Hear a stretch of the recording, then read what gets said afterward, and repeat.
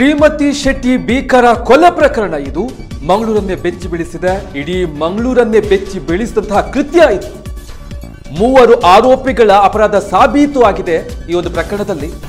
ಆರೋಪಿಗಳು, ದೋಷಿಗಳು ಅಂತ ಕೋರ್ಟ್ ತೀರ್ಪನ್ನು ಕೊಟ್ಟಿರುವಂಥದ್ದು. ಮಂಗಳೂರಿನ ಕೋರ್ಟ್ನಿಂದ ಈ ಮಹತ್ವದ ತೀರ್ಪು ಬಂದಿದೆ. ಅಂದರೆ ಅಪರಾಧಿಗಳು ಅಂತ ಹೇಳಿಕೊಂಡು. ಇದು ಮಂಗಳೂರಿನಲ್ಲಿ ಮಂಗಳೂರನ್ನೇ ಬೆಚ್ಚಿ ಬೀಳಿಸಿದಂತಹ ಪ್ರಕರಣ ಇದು. ಈ ಒಂದು ಘಟನೆ ಏನು ನಡೆಯಿತು ಈ ಸಂದರ್ಭದಲ್ಲಿ ಇಡೀ ಮಂಗಳೂರು ಕೂಡ ಬೆಚ್ಚಿ ಬಿದ್ದಿತ್ತು. ಈ ಅಪರಾಧವನ್ನ ಏನು ಮಾಡಿದ್ದಾರೆ ಮೂವರು ಆರೋಪಿಗಳು. ಅವರ ಅಪರಾಧಗಳು ಸಾಬೀತಾಗಿದೆ. ಈಗ ಮಂಗಳೂರಿನ ಒಂದನೇ ಹೆಚ್ಚುವರಿ ಜಿಲ್ಲಾ ಸತ್ರ ನ್ಯಾಯಾಲಯ ಈ ತೀರ್ಪನ್ನ ಕೊಟ್ಟಿರುವಂಥದ್ದು.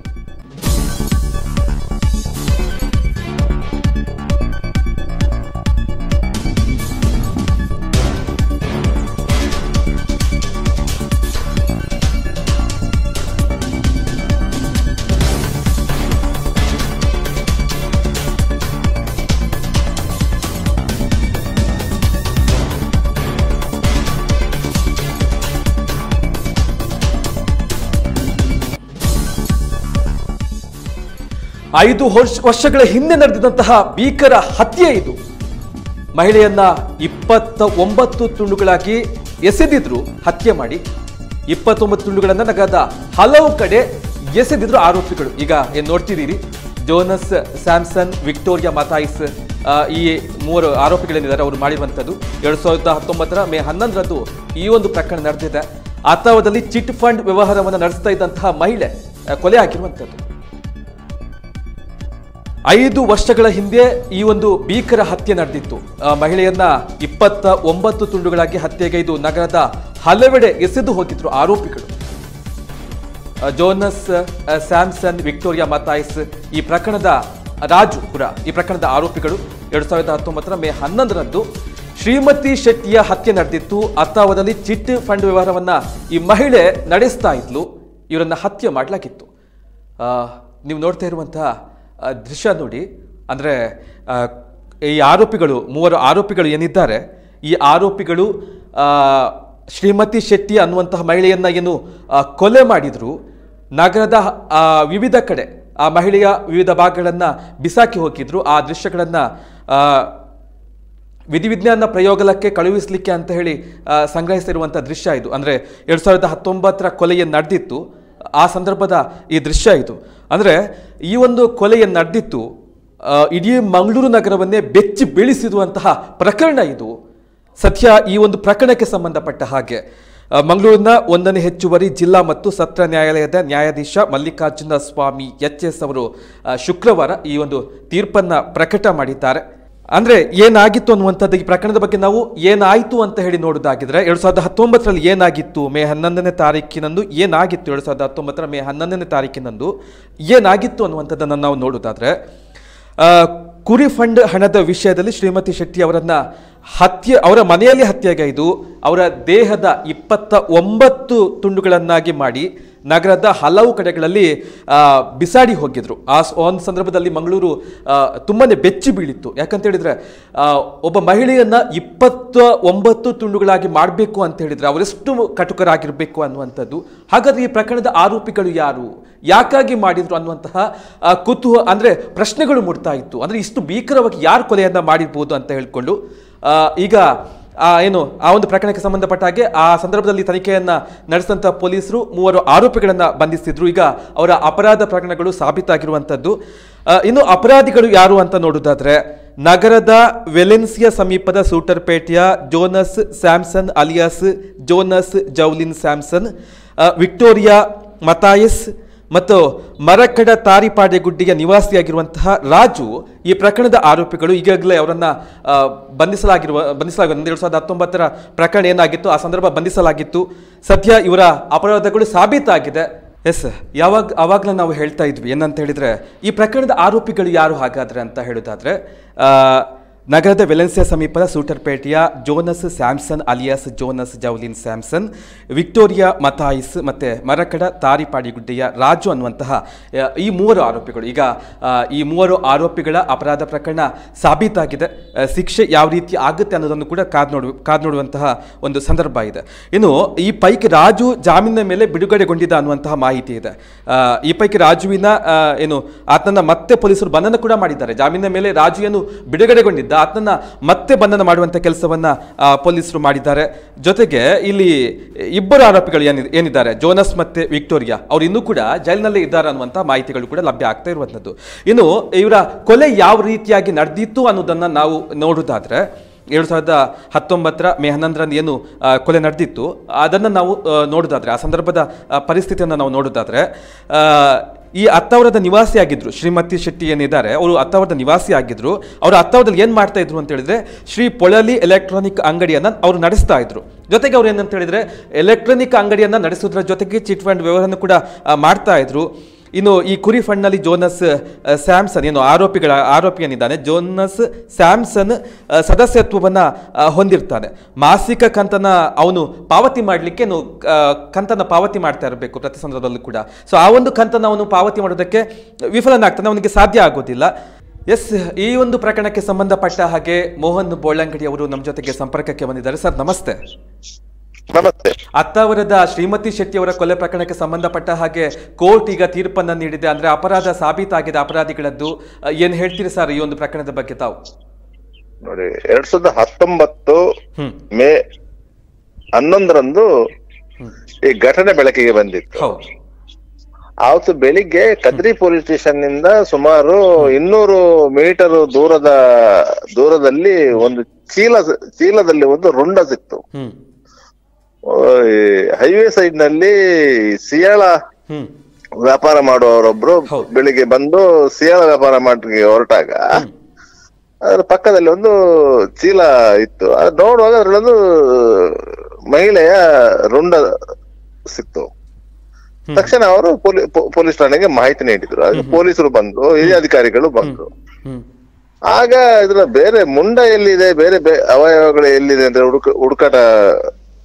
ಆರಂಭ ಆಯ್ತು. ಸ್ವಲ್ಪ ಹೊತ್ತಿಗೆ ಅದಕ್ಕಿಂತ ಸ್ವಲ್ಪ ಒಂದು ಇನ್ನೂರು ಮೀಟರ್ ದೂರದಲ್ಲಿ ಈ ಪದವ ಹೈಸ್ಕೂಲ್ನ ಎದುರುಗಡೆ ಒಂದು ವಿದ್ಯಾರ್ಥಿ ನಿಲಯ ಇದೆ. ಆದ್ರೆ ಕಾಂಪೌಂಡ್ ಒಳಗೆ ಸ್ವಲ್ಪ ದೇಹದ ಭಾಗಗಳು ಸಿಗ್ತಾವು ಅದಾದ ನಂತರ ನಮ್ಮ ನಂದಿಗುಡ್ಡೆ ಸ್ಮಶಾನದ ಒಳಗೆ ಬಾಕಿ ಅವಯವಗಳು ಸಿಕ್ಕಿದ್ದು. ಹ್ಮ್. ಈ ಇಷ್ಟು ಅವಯವಗಳನ್ನು ಸಂಗ್ರಹಿಸಿದಂತ ಪೊಲೀಸರು ವೆಲ್ಲಾಕ್ ಮೋರ್ಚರಿಗೆ ಕೊಂಡೋದ್ರು ಅಲ್ಲಿ ಅದನ್ನ ಜೋಡಿಸಿದಾಗ ಒಂದು ಮಹಿಳೆಯ ಡೆಡ್ ಬಾಡಿ ಸುಮಾರು ನಲವತ್ತ ಎರಡು ವರ್ಷ ಪ್ರಾಯದ ಮಹಿಳೆಯ ಡೆಡ್ ಬಾಡಿ ಅಂತ ಗೊತ್ತಾಯ್ತು. ಮತ್ತೆ ತನಿಖೆ ಮಾಡಿದಾಗ ಅದು ನಂದಿಗುಡ್ಡೆ ಅಮರೋಳ ರಸ್ತೆಯಲ್ಲಿ ವಾಸವಿದ್ದಂತ ಶ್ರೀಮತಿ ಶೆಟ್ಟಿ ಅವ್ರದ್ದು ಅಂತ ಗೊತ್ತಾಯ್ತು. ಅವರು ಅತ್ತಾವರದಲ್ಲಿ ಪೊಳಲಿ ಎಲೆಕ್ಟ್ರಿಕಲ್ ಶಾಪ್ ಅಂತೇಳಿ ಒಂದು ಎಲೆಕ್ಟ್ರಿಕಲ್ ಶಾಪ್ ನಡೆಸ್ತಾ ಇದ್ರು. ಅವರ ಗಂಡ ಅವರನ್ನ ತೊರೆದಿದ್ರು. ಅವರನ್ನು ಈ ರೀತಿಯಾಗಿ ಬೀಭತ್ಸವಾಗಿ ಯಾಕೆ ಹತ್ಯೆ ಮಾಡಿದ್ರು ಎನ್ನುವ ಬಗ್ಗೆ ತನಿಖೆ ಆರಂಭವಾಯ್ತು.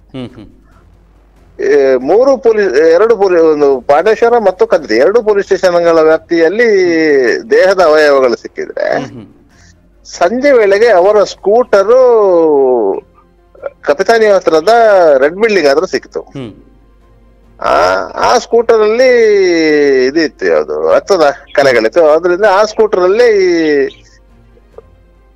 ದೇಹದ ಅವಯವಗಳನ್ನ ಕೊಂಡೋಗಿರ್ಬೋದು ಇಲ್ಲಿ ಪೊಲೀಸರು ಸಂಶಯ ಇದು ಮಾಡಿದ್ರು. ಆಗ ಪಾಂಡೇಶ್ವರ ಪೊಲೀಸರು ಒಂದು ಕಡೆಯಿಂದ ತನಿಖೆ ಸ್ಟಾರ್ಟ್ ಮಾಡಿದ್ರು ಈಚೆಯಿಂದ ಕದರಿ ಪೊಲೀಸರು ಮತ್ತೊಂದು ಕಡೆಯಿಂದ ತನಿಖೆ ಸ್ಟಾರ್ಟ್ ಮಾಡಿದಾಗ ಅವರು ಶ್ರೀಮತಿ ಶೆಟ್ಟಿ ಅವರು ಹತ್ತಾವರದವರು ಅಂತ ಗೊತ್ತಾಯ್ತು. ಆಗ ಪೊಲೀಸರು ಹತ್ತಾವರದ ಸಿಸಿಟಿವಿ ಫುಟೇಜ್ಗಳನ್ನ ಕಲೆಕ್ಟ್ ಮಾಡಿದ್ರು. ಮಾಡಿದಾಗ ಅವರು ಹತ್ತಾವರದಿಂದ ಅಲ್ಲಿ ಎನ್ ಜಿ ರೋಡ್ ಅಂತ ಇದೆ. ಆ ಆ ರೋಡ್ ಆಗಿ ವೆಲನ್ಸೆ ಕಡೆಗೆ ಹೋದದ್ದು ಗೊತ್ತಾಯ್ತು. ಮತ್ತೆ ಅದರ ಕನೆಕ್ಟ್ ಆಗಿ ರೋಡ್ ಸಿಸಿ ಕ್ಯಾಮರಾವನ್ನು ಚೆಕ್ ಮಾಡ್ತಾ ಹೋದಾಗ ಅಲ್ಲಿ ವೆಲೆನ್ಸಿಯಾದಲ್ಲಿ ಅವರು ಒಬ್ಬರ ಮಾತಾಡ್ತಿದ್ದ ಸಿಸಿ ಕ್ಯಾಮರಾದಲ್ಲಿ ಫುಟೇಜ್ ಇತ್ತು. ಅದರಿಂದ ಅವರು ಒಬ್ಬರ ಮಾತಾಡ್ತಿದ್ರು ಅಂತ ಗೊತ್ತಾಯ್ತು. ಅದ ನಂತರ ಅದರ ಅವ ಯಾರಂತ ಹುಡುಕಿದಾಗ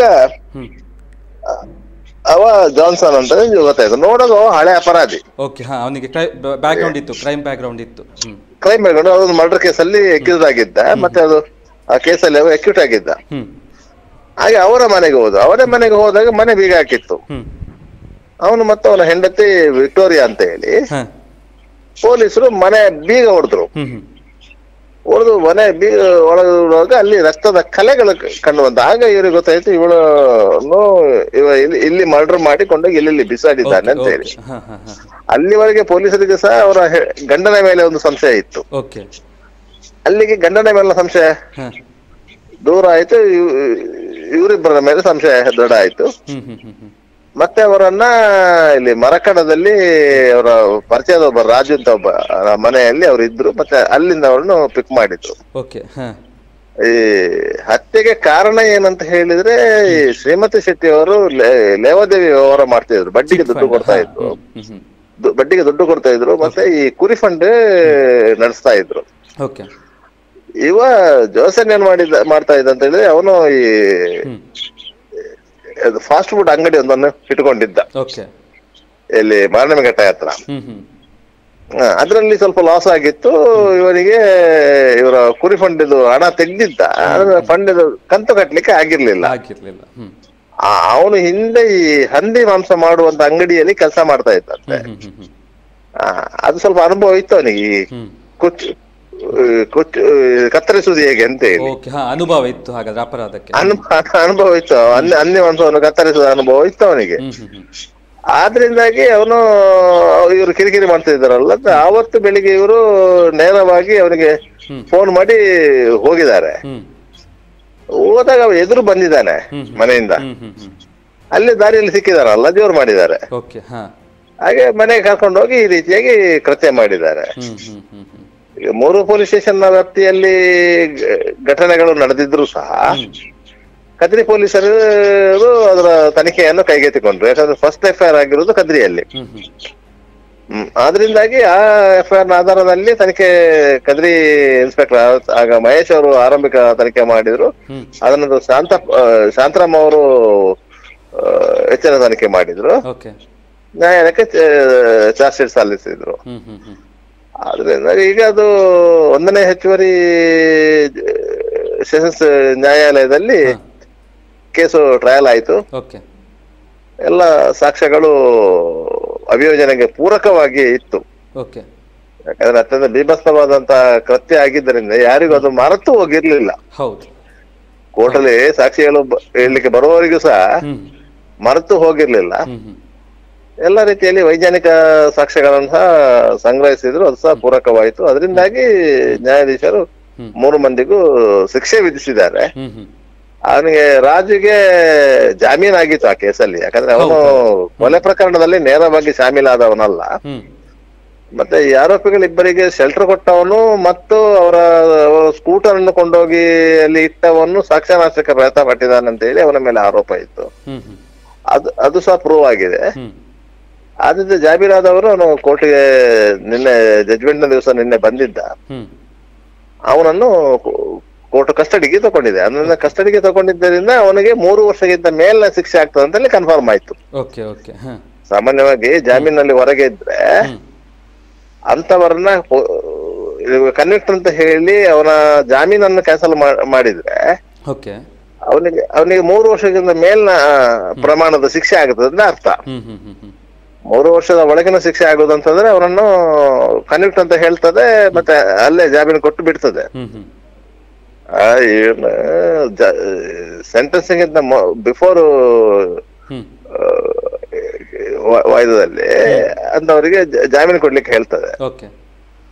ಇದ್ರಲ್ಲಿ ಜಾಮೀನು ಕೊಡ್ಲಿಕ್ಕೆ ಅಂತ ಹೇಳಲಿಲ್ಲ ಅದರಿಂದಾಗಿ ಇವರಿಗೆ ಎಲ್ರಿಗೂ ಸಾಮಾನ್ಯವಾಗಿ ಜೀವಾದಿ ಶಿಕ್ಷೆ ಆಗೋ ಸಾಧ್ಯತೆ ಇದೆ. ಅವರು ರಾಜಿಗೆ ಒಂದು ಏಳು ಏಳು ವರ್ಷ ಇಲ್ಲ ಹತ್ತು ವರ್ಷ ಶಿಕ್ಷೆ ಆಗ್ಬೋದು ಅಂತ ಕಾಣ್ತದೆ. ಓಕೆ ಈಗ ಈ ಒಂದು ಕೊಲೆ ಪ್ರಕರಣದಲ್ಲಿ ರಾಜು ಅಂತ ಏನಿದ್ದಾನೆ ಆರೋಪಿಗ ಈಗ ಜಾಮೀನಿನ ಮೇಲೆ ಬಿಡುಗಡೆಗೊಂಡು ಮತ್ತೆ ಬಂಧನಕ್ಕೆ ಒಳಗಾಗಿದ್ದಾನೆ. ಆತನ ಪಾತ್ರ ಯಾವ ರೀತಿ ಇತ್ತು ಈ ಪ್ರಕರಣದಲ್ಲಿ? ಅವನ ಪಾತ್ರ ಏನಂದ್ರೆ ಇವ್ರ ಇವರ ಫ್ರೆಂಡ್ ಅವನು. ಜಾನ್ಸನ್ ಫ್ರೆಂಡ್ ಅವನು ಇವರಿಗೆ ಶೆಲ್ಟರ್ ಕೊಟ್ಟ ಓಕೆ ಅವನ ಮನೆಯಲ್ಲಿ ಇವರನ್ನ ಪೊಲೀಸರು ಬಂಧಿಸಿದ್ದು. ಮತ್ತೆ ಶ್ರೀಮತಿ ಶೆಟ್ಟಿ ಅವರ ಸ್ಕೂಟರ್ ಅನ್ನು ಕೊಂಡೋಗಿ ಕಪಿತಾನ್ಯದ ರೆಡ್ ಬಿಲ್ಡಿಂಗ್ ಹತ್ರ ನಿಲ್ಲಿಸಿದ್ದು ಅವನೇ. ಯಾರು ರಾಜು? ರಾಜುವೆ. ಆದ್ರಿಂದಾಗಿ ರಾಜು ಇದರಲ್ಲಿ ಆರೋಪಿ. ಅವನು ಸಾಕ್ಷ್ಯನಾಶಕ್ಕೆ ಪ್ರಯತ್ನ ಪಟ್ಟವನು. ಅದರಿಂದ ಅವನಿಗೆ ಐದರಿಂದ ಏಳು ವರ್ಷ ಶಿಕ್ಷೆ ಆಗ್ಬೋದು ಅಂದಾಜಿರೋದು ಇವರಿಬ್ಬರಿಗೆ ಜೀವಾವಧಿ ಆಗ್ಬೋದು ಇಲ್ಲ ಇದ್ರೆ ಅವನಿಗೆ ಅವನಿಗೆ ಪ್ರೀವಿಯಸ್ ಕ್ರೈಮ್ ಹಿನ್ನೆಲೆ ಇರುವುದರಿಂದ ಅವನಿಗೆ ಮರಣದಂಡನೆ ಆದ್ರೂ ಆಶ್ಚರ್ಯ ಪಡಬೇಕಾಗಿಲ್ಲ ಯಾಕಂದ್ರೆ ಈಗ ಅವರದ್ದು ಅಷ್ಟು ಕ್ರಿಯಾಲಿಟಿ ಇತ್ತಲ್ಲ ಹೌದು ಹೌದು ಯಾಕಂದ್ರೆ ಇಪ್ಪತ್ತ ಒಂಬತ್ತು ತುಂಡು ಮಾಡಿದ್ದಾರೆ ಇಡೀ ದೇಹವನ್ನು ಹೌದು ಹೌದು ಇಪ್ಪತ್ತೊಂಬತ್ತು. ಹೌದು ಅದರಿಂದ ಆ ಕ್ರಿಯಾಲಿಟಿ ಇತ್ತಲ್ಲ ಮತ್ತೆ ಉದ್ದೇಶಪೂರ್ವಕವಾಗಿ ಕೊಲೆ ಮಾಡಿ ಮಾಡಿರುವಂತದ್ದು ಹೌದು. ಆ ಗ್ರೌಂಡ್ ಅಲ್ಲಿ ನೋಡಿದ್ರೆ ಮರಣದಂಡನೆ ಆಗ್ಬೋದು ಇಲ್ಲ ಜೀವಾವಧಿ ಅಂತೂ ಖಂಡಿತ. Okay hmm. ಅಂದ್ರೆ ಅದೇ ಅದೇ ಅಂದ್ರೆ ಈ ಒಂದು ಪ್ರಕರಣ ಸಂಬಂಧಪಟ್ಟ ಹಾಗೆ ಅವರ ಅಪರಾಧ ಸಾಬೀತಾಗಿರುವಂತದ್ದು ಆದ್ರೆ ಶಿಕ್ಷೆಯ ಪ್ರಮಾಣ ಶಿಕ್ಷೆಯ ಪ್ರಮಾಣ ಹತ್ತೊಂಬತ್ತನೇ ತಾರೀಕಿಗೆ ಪ್ರೊನೌನ್ಸ್ ಮಾಡ್ತಾರೆ ಓಕೆ ಬೋಳಂಗಡಿ ಅವರೇ ಎರಡು ಸಾವಿರದ ಹತ್ತೊಂಬತ್ತು ಮೇ ಹನ್ನೊಂದರಂದು ಏನು ಕೊಲೆ ನಡೆದಿತ್ತು ಸೊ ಅಂದು ಆ ಒಂದು ಸಂದರ್ಭದಲ್ಲಿ ಇಡೀ ಮಂಗಳೂರು ಬೆಚ್ಚಿ ಬಿದ್ದದಂತೂ ಸತ್ಯ ಆದ್ರೆ ಆದಿತ್ಯವಾರ ಆದಿತ್ಯವಾರ ಹ್ಮ್ ಹ್ಮ್ ಇಡೀ ಪೊಲೀಸ್ ವ್ಯವಸ್ಥೆ ಅಲ್ಲ ಜನರು ಬೆಚ್ಚಿ ಬಿದ್ದಿದ್ರು. ನಿಮ್ಗೆ ಅಲ್ಲ ಇವರು ತಲೆಬುಡ ಏನು ನೋಡ್ಲಿಕ್ಕೆ ಜನ ಸೇರಿದ್ರಿಂದಾಗಿ ಹೈವೇ ಬ್ಲಾಕ್ ಆಗಿತ್ತು. ಅಲ್ಲ ಇವರು ಶ್ರೀಮತಿ ಶೆಟ್ಟಿ ಅವರು ಹಣವನ್ನ ಕೊಟ್ಟರು ಹಣವನ್ನ ಕೊಟ್ಟಂತಹ ತಪ್ಪಿಗೆ ಹೆಣವಾಗುವಂತ ಪರಿಸ್ಥಿತಿ ಬಂತಲ್ವಾ? ಯಾಕಂದ್ರೆ ಪ್ರಾಣಿಗಳ ಪ್ರಾಣಿಗಳನ್ನ ಕೊಂದ ಹಾಗೆ ಕೊಂದ ಹಾಕಿದ್ರಲ್ವಾ ಶ್ರೀಮತಿ ಶೆಟ್ಟಿ ಅವರನ್ನ ಅಂತ ಹೇಳ್ಕೊಂಡು? ಅದು ಖಂಡಿತ. ಯಾಕಂದ್ರೆ ಅವರಿಗೆ ಅವರು ಯುವ ಅವರು ಕತ್ತರಿಸಿದೆಲ್ಲ ಜೀವ ಇರುವಾಗಲೇ. ಅದೇ ಎಂತ ಮನಸ್ಥಿತಿ ಹೊಂದಿರಬೇಡ ಅಂತ ಇವರು ಆರೋಪಿಗಳು. ತಲೆಗೆ ತಲೆಗೆ ಹೊಡೆದ ಇದರಲ್ಲಿ ಮರದ ಒಂದು ರೀಪ್ ಇತ್ತಂತೆ ಅದರಲ್ಲಿ ಹೊಡೆದಿದ್ದಾನೆ. ಹೊಡೆದಾಗ ಅವರಿಗೆ ಸ್ಮೃತಿ ತಪ್ಪಿದೆ. ಓಕೆ. ಮನೆಯ ಒಳಗೆ. ಅವರನ್ನು ಮನೆ ಒಳಗಿನವರು ಬಚ್ಚಲು ಕೋಣೆಗೆ ಹೇಳ್ಕೊಂಡು ಹೋಗಿ ಮಲಗಿಸಿದ್ದಾರೆ. ಅವರು ಒಂದ್ ವೇಳೆ ಎಚ್ಚರ ಆಗ್ತಾ ಇದ್ರೆ ಏನು ಇವನು ಕತ್ತರಿಸ್ತಾ ಇರ್ಲಿಲ್ಲ. ಅವ್ರಿಗೆ ಎಚ್ಚರ ಆಗ್ಲಿಲ್ಲ. ಓಕೆ ಅಂದ್ರೆ ಅವರು ಸಂಪೂರ್ಣ ಇದು ನಿದ್ರಾವಸ್ಥೆಗೆ ಜಾರಿ ಹೋಗಿದ್ರು ಅವರು. ಹೌದು. ಪ್ರಜ್ಞೆ ತಪ್ಪಿತ್ತು. ಪ್ರಜ್ಞೆ ತಪ್ಪಿದ್ರು ಅವರು ಹಾ. ಅದರಿಂದಾಗಿ ಅವರು ಆ ಆ ಪ್ರಜ್ಞಾಹೀನ ಸ್ಥಿತಿಯಲ್ಲಿ ಅವರನ್ನು ಕತ್ತರಿಸಿದ್ವಿ ಯಾಕಂದ್ರೆ ಇಲ್ಲ ಅವರನ್ನು ಶಿಫ್ಟ್ ಮಾಡ್ಲಿಕ್ಕೆ ಆಗ- ಆಗೋದಿಲ್ಲಲ್ಲ? ಅಲ್ಲ ಇವರಿಗೆ ತಾವು ಅವರ ಇಪ್ಪತ್ತೊಂಬತ್ತು ದೇಹ ದೇಹದ ದೇಹವನ್ನು ಇಪ್ಪತ್ತೊಂದು ಇಪ್ಪತ್ತೊಂಬತ್ತು ತುಂಡುಗಳಾಗಿ ಮಾಡಿ ಬಿಸಾಕಿದಂತ ಸಂದರ್ಭದಲ್ಲೂ ಕೂಡ ತಾವು ಸಿಕ್ಕಿ ಬೀಳ್ತೇವೆ ಅನ್ನುವಂತಹ ಭಯ ಕೂಡ ಇರ್ಲಿಲ್ವಾ ಹೇಗೆ? ಹಾಗೆಲ್ಲ ಅದು ಯಾವುದೇ ಕ್ರಿಮಿ ಯಾವುದೇ ಕೃತ್ಯ ಮಾಡಿದವನಿಗೂ ನಾವು ಪೊಲೀಸರಿಗೆ ಸಿಕ್ಕಿ ಸಿಕ್ಕಿ ಬೀಳ್ತೇವೆ ಅನ್ನೋ ಭಯ ಇರೋದಿಲ್ಲ. ಅವರಲ್ಲಿ ನಾವು ಪೊಲೀಸರಿಗೆ ಸಿಕ್ಕಿ ಬೀಳಾಗೆ ಏನೆಲ್ಲ ಮಾಡಬೇಕು ಅಂತ ಹೇಳಿ ಇದು ಮಾಡುದು. ಈಗ ಅದನ್ನ ಮೂರು ಮೂರು ಕಡೆಯಲ್ಲಿ ಕೊಂಡೋಗಿ ಯಾಕೆ ಹಾಕ್ಬೇಕು. ನಗರದ ವಿವಿಧ ಮೂರು ಕಡೆಗಳಲ್ಲಿ ಮೂರು ಹೌದು ಮೂರು ಮೂರು ಕಡೆಯಲ್ಲಿ ಇದಾದ ಕೂಡಲೇ ಒಂದು ಈ ಪೊಲೀಸ್ ಸ್ಟೇಷನ್ ಅವರು ಬರ್ತಾರೆ ಆ ಪೊಲೀಸ್ ಸ್ಟೇಷನ್ ಬರ್ತಾರೆ ಬೇರೆ ಬೇರೆ ಕಡೆಯಲ್ಲಿ. ತನಿಖೆ ಆಗುತ್ತೆ ಅಂತ ಹೇಳಿ. ಅಂತಿಂತ. ಸಾಕ್ಷ್ಯನಾಶ ಆಗುತ್ತೆ. ಇದರಿಂದ ನಾವು ಬಚಾವ್ ಆಗ್ಬೋದು. ಕಾರಣ ಕೊಣಿಕೆಯಿಂದ ಬಚಾವ್ ಆಗ್ಬೋದು ಅಂತ ಆಲೋಚನೆ ಮಾಡ್ತಾರೆ. ಹೌದು. ಅದೇ ಪರಿಸ್ಥಿತಿ ಹಾಗೆ ಇರುದಿಲ್ಲ ಪೊಲೀಸರು ತನಿಖೆಯಲ್ಲಿ ಅಷ್ಟು ಪರಿಣಿತರಿರ್ತಾರೆ ನಿಪುಣರಿರ್ತಾರೆ ಹೌದು. ಅವರು ಎಲ್ಲ ರೀತಿಯ ಸಾಕ್ಷ್ಯಾಧಾರಗಳನ್ನು ಸಂಗ್ರಹಿಸಿರ್ತಾರೆ. ಹೌದು. ಎಸ್ ಹಾಗಾಗಿ ಒಂದು ಅಪರಾಧ ಪ್ರಕರಣ ಸಾಬೀತಾಗಿರುವಂಥದ್ದು. ಧನ್ಯವಾದಗಳು ಮೋಹನ್ ಬೋಳಂಗಡಿ ಅವರೇ ನಮ್ಮ ಜೊತೆಗೆ ಮಾತಾಡಿದ್ದಕ್ಕೆ ಎಸ್ ಮಂಗಳೂರಿನ ಹಿರಿಯ ಕ್ರೈಮ್ ರಿಪೋರ್ಟರ್ ಆಗಿರುವಂತಹ ಮೋಹನ್ ಬೋಳಂಗಡಿ ಅವರು ಈ ಒಂದು ಪ್ರಕರಣದ ಏನು ಎರಡು ಸಾವಿರದ ಹತ್ತೊಂಬತ್ತು ಮೇ ಹನ್ನೊಂದರಂದು ಏನು ಈ ಒಂದು ಕೊಲೆ ಪ್ರಕರಣ ನಡೆದಿತ್ತು, ಈ ಪ್ರಕರಣಕ್ಕೆ ಸಂಬಂಧಪಟ್ಟ ಹಾಗೆ ಸಂಪೂರ್ಣ ಚಿತ್ರಣವನ್ನು ಯು ಪ್ಲಸ್ ವಾಹಿನಿಯ ಮುಖಾಂತರ ಅವರು ಹೇಳ್ತಾ ಬಂದರು. ಯಾವ ರೀತಿ ಕೊಲೆ ನಡೆದಿತ್ತು, ಹೇಗೆ ಇದು ಮಾಡಿದರು, ಏನು ದ್ವೇಷ ಇತ್ತು ಯಾಕಾಗಿ ಕೊಲೆ ನಡೆಯಿತು ಹೇಗೆ ಕೊಲೆ ಮಾಡಿದರು ಶ್ರೀಮತಿ ಶೆಟ್ಟಿಯವರನ್ನು ಆ ಮೂವರು ಆರೋಪಿಗಳು ಅಂತ ಹೇಳ್ಕೊಂಡು ಅದೇ ಶ್ರೀಮತಿ ಶೆಟ್ಟಿಯವರು ಏನು ಮಾಡ್ತಾ ಇದ್ರು ಅಂತ ಹೇಳಿದ್ರೆ ಮೋಹನ್ ಬೋಳಂಗಡಿ ಅವರು ಹೇಳಿದ ಹಾಗೆ ಶ್ರೀಪುಳಲಿಯ ಎಲೆಕ್ಟ್ರಾನಿಕ್ ಅಂಗಡಿಯನ್ನು ನಡೆಸ್ತಾ ಇದ್ರು. ಜೊತೆಗೆ ಚಿಟ್ ಫಂಡ್ ವ್ಯವಹಾರ ಕೂಡ ಅವರು ಮಾಡ್ತಾ ಇದ್ರು. ಇನ್ನೊಂದಂತ ಹೇಳಿದ್ರೆ, ಈ ಆರೋಪಿಗಳಲ್ಲಿ ಒಬ್ಬನಾಗಿರುವಂಥ ಜೋನಸ್ ಸ್ಯಾಮ್ಸನ್ ಏನಂತ ಹೇಳ್ತಾನೆ ಅವನೇನಿದ್ದಾನೆ ಅವನ ಸದಸ್ಯತ್ವವನ್ನು ಹೊಂದಿರ್ತಾನೆ, ಎರಡನೇ ಸದಸ್ಯತ್ವವನ್ನು ಹೊಂದಿರ್ತಾನೆ. ಅವನಿಗೆ ಕಂತನ್ನ ಪಾವತಿ ಮಾಡಲಿಕ್ಕೆ ಕಷ್ಟ ಆಗುತ್ತೆ. ವಿಫಲನಾಗ್ತಾನೆ, ಕಂತನ್ನ ಪಾವತಿ ಮಾಡ್ಲಿಕ್ಕೆ ಆಗುದಿಲ್ಲ. ಆಗೇನು ಮಾಡ್ತಾರೆ ಅಂತ ಹೇಳಿದ್ರೆ ಇಲ್ಲಿ ಕೊಲೆಯಾಗಿರುವಂಥ ಮಹಿಳೆ ಏನಿದ್ದಾರೆ? ಶ್ರೀಮತಿ ಶೆಟ್ಟಿಯವರು ಅವರು. ಹಣ ಕಟ್ಟಬೇಕು ಅಂತ ಹೇಳಿ ಒತ್ತಾಯವನ್ನ ಮಾಡ್ತಾರೆ. ಅವನಿಗೆ ಕಟ್ಟಲಿಕ್ಕೆ ಆಗೋದಿಲ್ಲ. ಅವ್ರ ಮೇಲೆ ಸಿಟ್ಟು ಬರುತ್ತೆ ಶ್ರೀಮತಿ ಶೆಟ್ಟಿಯವರ ಮೇಲೆ.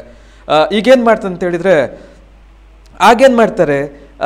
ಎರಡು ಸಾವಿರದ ಹತ್ತೊಂಬತ್ತು ಮೇ ಹನ್ನೊಂದರಂದು ಬೆಳಿಗ್ಗೆಯೇ ಒಂಬತ್ತು ಹದಿನೈದರ ಸಮಯಕ್ಕೆ ಹಣ, ಹಣವನ್ನು ಕೇಳುವುದಕ್ಕೆ ಅಂತ ಹೇಳಿ, ಆರೋಪಿ ಜೋನಸ್ ಸ್ಯಾಮ್ಸನ್ ಏನಿದ್ದಾನೆ, ಅವನ ಮನೆಗೆ ಶ್ರೀಮತಿ ಶೆಟ್ಟಿಯವರು ಹೋಗ್ತಾರೆ. ಅಂದರೆ ಅವನು ಕೊಲೆಯನ್ನು ಮಾಡ್ತಾನೆ ತನ್ನ ಉಸಿರನ್ನ ನಿಲ್ಲಿಸ್ತಾನೆ ಅನ್ನುವಂತಹ ಒಂದು ಸ್ವಲ್ಪ ಕೂಡ ಸುಳಿವು ಶ್ರೀಮತಿ ಶೆಟ್ಟಿ ಅವರಿಗೆ ಇರೋದಿಲ್ಲ ಯಾಕಂತ ಹೇಳಿದರೆ ಒಂದು ಕೃತ್ಯವನ್ನು ಮಾಡೋದಕ್ಕೆ ಸಾಧ್ಯ ಇಲ್ಲ ಅನ್ನುವಂಥದ್ದು. ಯಾಕಂತ ಹೇಳಿದ್ರೆ ಅವರು ಕೊಡುವಂಥ ಸಂದರ್ಭದಲ್ಲೇ ನಂಬಿಕೆಯಿಂದ ಆತನಿಗೆ ಹಣವನ್ನು ಕೊಟ್ಟಿರ್ತಾರೆ. ಆದರೆ ಆತ ಇಂತಹ ಕೃತ್ಯವನ್ನು ಮಾಡ್ತಾನೆ ಅಂತ ಹೇಳಿ ಖಂಡಿತವಾಗ್ಲೂ ಶ್ರೀಮತಿ ಶೆಟ್ಟಿಯವರು ಯೋಚನೆ ಕೂಡ ಮಾಡಲಿಕ್ಕೆ ಹೋಗುವುದಿಲ್ಲ ಆಗ ಏನು ಶ್ರೀಮತಿ ಶೆಟ್ಟಿಯವರು ಅವರ ಮನೆಗೆ ಏನು ಹೋಗ್ತಾರೆ ಸ್ಯಾಮ್ಸನ್ನ ಮನೆಗೆ ಏನು ಹೋಗ್ತಾರೆ ಆ ಸಂದರ್ಭದಲ್ಲಿ ಶ್ರೀಮತಿ ಶೆಟ್ಟಿಯವರ ತಲೆಗೆ ಆ, ಮರದ ತು ಪಟ್ಟಿ ಏನಿರುತ್ತೆ ಅದರಿಂದ ಹೊಡಿ ಹೊಡೆಯುವಂಥ ಕೆಲಸವನ್ನು ಸ್ಯಾಮ್ಸನ್ ಮಾಡ್ತಾನೆ. ಅವಾಗ ಏನಾಗ್ತಾರೆ ಅಂತ ಹೇಳಿದ್ರೆ ಬೋಳಂಗಡಿಯವರು ಹೇಳಿದ ಹಾಗೆ ಶ್ರೀಮತಿ ಶೆಟ್ಟಿಯವರು ಪ್ರಜ್ಞಾಹೀನರಾಗಿ ಬೀಳ್ತಾರೆ. ಆಗ ಏನು ಮಾಡ್ತಾರೆ ಇರೋ ಆ ಆರೋಪಿಗಳು? ಜೋನಸ್ ಮತ್ತು ವಿಕ್ಟೋರಿಯಾ ಏನು ಮಾಡ್ತಾರೆ ಅಂತ ಹೇಳಿದರೆ, ಅವರನ್ನು ಬಚ್ಚಲು ಮನೆಗೆ ಎಳ್ಕೊಂಡು ಹೋಗ್ತಾರೆ. ಬಚ್ಚು ಬಚ್ಚಲು ಮನೆಗೆ ಎಳ್ಕೊಂಡು ಹೋಗಿ ಹರಿತವಾದ ಆಯುಧ ಏನಿರುತ್ತೆ, ಅದರ ಅದರಲ್ಲಿ ಕುತ್ತಿಗೆಯನ್ನು ಕೊಯ್ಯುವಂತಹ ಒಂದು ದುಷ್ಟ ಕಾರ್ಯಕ್ಕೆ ಮುಂದಾಕುವ ಮುನ್ನಾಗುವಂಥದ್ದು ಈ ಆರೋಪಿಗಳು. ಜೊತೆಗೆ ಅಷ್ಟು ಮಾತ್ರ ಅಲ್ಲ, ಅವರನ್ನು ಕುತ್ತಿಗೆಯನ್ನು ಕೊಯ್ದು ಮಾತ್ರ ಅಲ್ಲ ಅವರ ಚಿನ್ನಾಭರಣಗಳನ್ನು ಸುಲಿಗೆ ಮಾಡುವಂಥ ಕೆಲಸವನ್ನು ಮಾಡ್ತಾರಂತೆ ಈ ಮೂವರು ಆರೋಪಿಗಳು ಸೇರಿಕೊಂಡು. ಅಂದರೆ ಇಪ್ಪತ್ತೊಂಬತ್ತು ತುಂಡು ಮಾಡ್ತಾರೆ, ಅಷ್ಟು ಮಾತ್ರ ಅಲ್ಲ, ಅವರ ಮೈ ಮೇಲೆ ಏನು ಚಿನ್ನ ಇತ್ತು, ಅದನ್ನು ಸುಲಿಗೆ ಮಾಡುವಂಥ ಕೆಲಸವನ್ನು ಮಾಡ್ತಾರೆ. ಈಗ ಈ ಪ್ರಕರಣಕ್ಕೆ ಸಂಬಂಧಪಟ್ಟಾಗ ಏನು ನ್ಯಾಯಾಲಯ ತೀರ್ಪನ್ನು ಕೊಟ್ಟಿದೆ, ಅಂದರೆ ಅವರ ಅಪರಾಧ ಸಾಬೀತಾಗಿದೆ. ಜೊತೆಗೆ ಇವರ ಶಿಕ್ಷೆಯ ಪ್ರಮಾಣ ಕೂಡ ನಿಗದಿ ಆಗಿರುವಂಥದ್ದು. ನಾವು ಇವಾಗ one by one one by one ಹೇಳ್ಕೊಂಡು ಬರ್ತಾ ಇದ್ದೀವಿ. ಜೊತೆಗೆ ಈಗ ಶಿಕ್ಷೆಯ ಪ್ರಮಾಣ ಅನ್ನುವಂಥದ್ದು ನಿಗದಿ, ಬಾಕಿ ಇದೆ, ಇರುವಂಥದ್ದು. ಅಂದರೆ ಜೋನಸ್ ಮತ್ತು ವಿಕ್ಟೋರಿಯಾ ಮೇಲಿನ ಕೊಲೆ ಸುಲಿಗೆ ಮತ್ತು ಸಾಕ್ಷ್ಯನಾಶ ಆರೋಪಗಳು, ರಾಜು ಮೇಲಿನ ಕೊಲೆ ಸಹಾಯ, ಮತ್ತೆ ಕಳವು ಮಾಡಿರುವಂತಹ ಸೊತ್ತುಗಳು ಇಟ್ಕೊಂಡಿರುವಂತಹ ಆರೋಪ ಸಾಬೀತಾಗಿದೆ ಅಂತ ಹೇಳಿ ನ್ಯಾಯಾಲಯ ಏನು ತೀರ್ಪನ್ನು ಕೊಟ್ಟಿದೆ. ಈಗ ಈ ಶಿಕ್ಷೆಯ ಪ್ರಮಾಣ ಏನಾಗುತ್ತೆ ಅಂತ ಹೇಳಿದ್ರೆ ಸೆಪ್ಟೆಂಬರ್ ಹದಿನೇಳರಂದು ನಿಗದಿಪಡಿಸಿದ ನ್ಯಾಯಾಲಯ. ಅವತ್ತು ಅವರಿಗೆ ಏನೇನೆಲ್ಲ ಶಿಕ್ಷೆ ಕೊಡುತ್ತೆ, ಅಂದರೆ ಈ ಮೂವರು ಆರೋಪಿಗಳು ಏನಿದ್ದಾರೆ, ಅವರಿಗೆ ಏನು ಶಿಕ್ಷೆಯನ್ನು ಕೊಡಬೇಕು ಅಂತ ಹೇಳಿಕೊಂಡು ಸೆಪ್ಟೆಂಬರ್ ಹದಿನೇಳಕ್ಕೆ ನಿಗದಿ ಆಗುತ್ತೆ ಜೊತೆಗೆ ಈ ಒಂದು ಏನು, ಅವರ ಅಪರಾಧಗಳನ್ನು ಸಾಬೀತುಪಡಿಸಬೇಕು ಅಂತ ಹೇಳಿದರೆ ಏನಾಗುತ್ತೆ ಅಂತ ಹೇಳಿ, ಇಲ್ಲಿ ಇಲ್ಲಿ ಸರ್ಕಾರಿ ವಕೀಲರಾಗಿರುವಂತಹ ಜುಡಿತ್ ಓಲ್ಗಾ ಅವರು ಏನು ವಾದವನ್ನ ಮಾಡಿ ಈ ಒಂದು ತಪ್ಪಿತಸ್ಥರು ಏನಿದ್ದಾರೆ, ಅವರ ಅಪರಾಧ ಸಾಬೀತು ಅಂತ ಹೇಳಿ ಅವರು ಸಾಬೀತುಪಡಿಸ್ತಾರೆ ಈ ಒಂದು ಅಪರಾಧದಲ್ಲಿ ಈ ಮೂವರು ಆರೋಪಿಗಳ ಅಪ, ಕೈ ಇದೆ ಅನ್ನುವಂಥದ್ದನ್ನು ಇವರು ಸಾಬೀತುಪಡಿಸುವಂಥದ್ದು ಇನ್ನು ಏನು ಮಾಡ್ತಾರೆ ಅಂತ ಹೇಳಿದರೆ, ಈಗ ಕೊಲೆಗಾರ ಆರೋಪಿ ಜೋನ್ಸನ್, ಜೋನಸ್ ಸ್ಯಾಮ್ಸನ್ ಏನಿದ್ದಾನೆ, ಆತ ಹಂದಿಯನ್ನ ಕಟ್ ಮಾಡ್ತಾರೆ ಏನು ಹಂದಿಯನ್ನ, ಹಂದಿ ಮಾಂಸ ಏನು ಮಾಡ್ತಾರೆ. ಅದರಲ್ಲಿ ಅಂಗಡಿಯಲ್ಲಿ ಕೆಲಸವನ್ನು ಮಾಡ್ತಾ ಇದ್ದನಂತೆ ಈ ಸ್ಯಾಮ್ಸನ್ ಅನ್ನುವಂತಹ ಆರೋಪಿ. ಜೊತೆಗೆ ಅವನಿಗೆ ಮೋಹನ್ ಬೊಳಂಗ್ ಅವರು ಆವಾಗಲೇ ಮಾತಾಡ್ತಾ ಈ ಒಂದು ಪ್ರಕರಣವನ್ನು, ಈ ಒಂದು ವಿಚಾರವನ್ನು ಕೂಡ ಹೇಳ್ತಾ ಇದ್ರು. ಈತ ಈ ಹಿಂದೆ ಸಂಬಂಧಿಕರ ಒಂದು ಹತ್ಯೆಯಲ್ಲಿ ಕೂಡ ಈತ ಪಾಲುದಾರನಾಗಿದ್ದ ಅನ್ನುವಂಥದ್ದು. ಅಂದರೆ, ಆತ ಕೂಡ ಅದರಲ್ಲಿ ಭಾಗಿಯಾಗಿದ್ದ ಅಂತ ಹೇಳ್ಕೊಂಡು ಜೊತೆಗೆ ಈತ ಏನು ಮಾಡ್ತಾ ಇದ್ದ ಅಂತ ಹೇಳಿದ್ರೆ ಫಾಸ್ಟ್ ಫುಡ್ ಅಂಗಡಿಯನ್ನು ಕೂಡ ನಡೆಸ್ತಾ ಇದ್ದ ಅನ್ನುವಂಥ ಮಾಹಿತಿ. ಇನ್ನು ಜೋನ್ಸ್ ಸ್ಯಾಮ್ಸನ್ ಈ ಸಂದರ್ಭ ಮನೆಯಲ್ಲಿ ಮಾತ್ರ ಇರ್ತಾರೆ.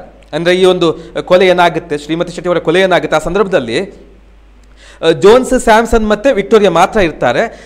ಜೊತೆಗೆ ಏನಂತೇಳಿ ಈ ರಾಜು ಅನ್ನುವಂಥದ್ದು ಏನು ಬರ್ತಾನೆ? ಈಗ ಮೂರನೇ ಆರೋಪಿ ಇರುವಂಥ ಜೋ ರಾಜು ಅಂತ ಏನು ಬರ್ತಾನೆ? ಅವನು ಈತ, ಈತನ ಫ್ರೆಂಡ್ ಗೆಳೆಯ ಆಗಿರ್ತಾನೆ.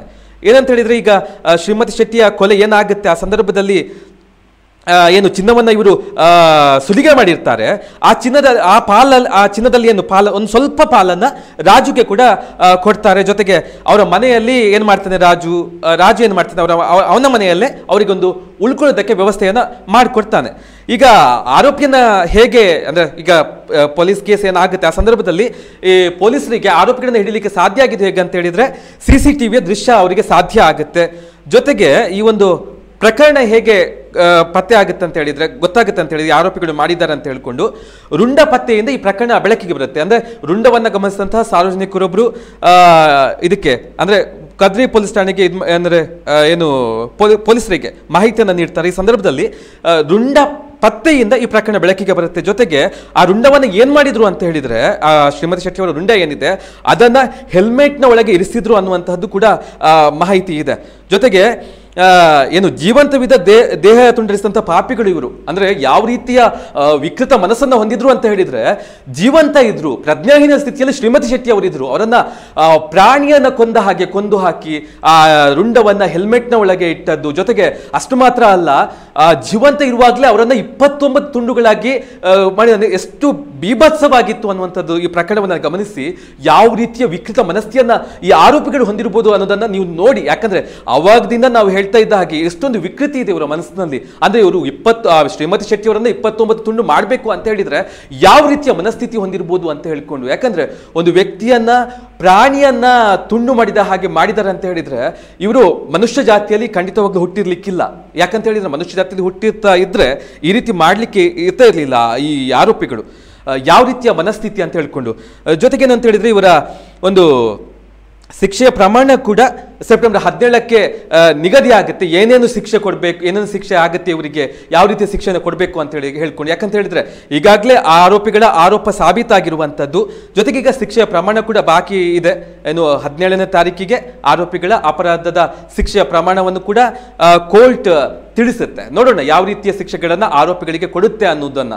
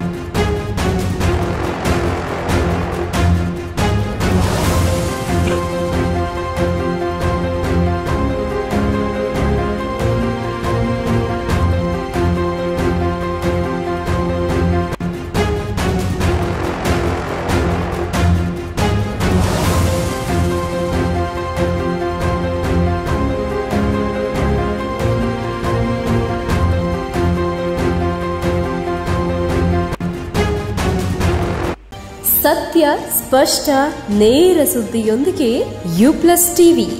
ಇದು ಹೊಸತನದ ಸಂಕಲನ. ಬೆನಕ ಹಾಸ್ಪಿಟಲ್ ಕಳೆದ ಹದಿನೆಂಟು ವರ್ಷಗಳಿಂದ ಬೆಳ್ತಂಗಡಿ ತಾಲೂಕಿನಲ್ಲಿ ಉತ್ಕೃಷ್ಟ ಸೇವೆ ಸಲ್ಲಿಸುತ್ತಿರುವ ಉಜಿರೆಯ ಬೆನಕ ಹೆಲ್ತ್ ಸೆಂಟರ್. ನುರಿತ ತಜ್ಞರು ಹಾಗೂ ಅತ್ಯಾಧುನಿಕ ಸವಲತ್ತುಗಳೊಂದಿಗೆ multi speciality hospital. Benaka health centre, main road Ujire. ಸಂಪರ್ಕಿಸಿ, zero eight two five six two three six seven four two.